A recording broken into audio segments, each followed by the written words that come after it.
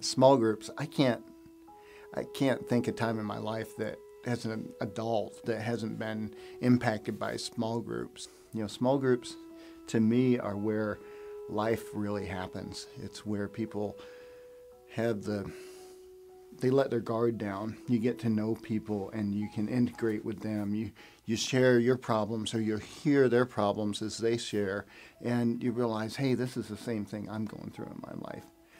You know, as as we've gone through hard things, um, people have been there to help us, not just emotionally as we've struggled, um, but even at times financially. People have come behind us to help us in ministry, to help us go on a mission trip, to help us do what God's put in front of us to do.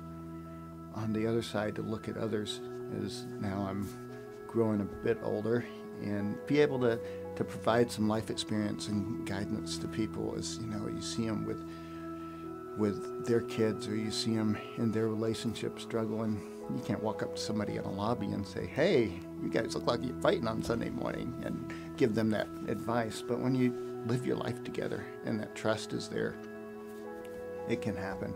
I think one of the biggest things about God that I've learned in small group is that uh, His acceptance, His love, His just that He's not shocked when I come out with this crazy thing that, hey, I'm going through this, I don't understand this in my life, that the people that are there around me in a small group, they know me, they love me. It's, it's the family of the church. God puts us here, I believe, in a specific place in the body to be able to identify and share with one another and grow together. And I think the main place that works is, is small groups. Cool. Cool, man. Sweet.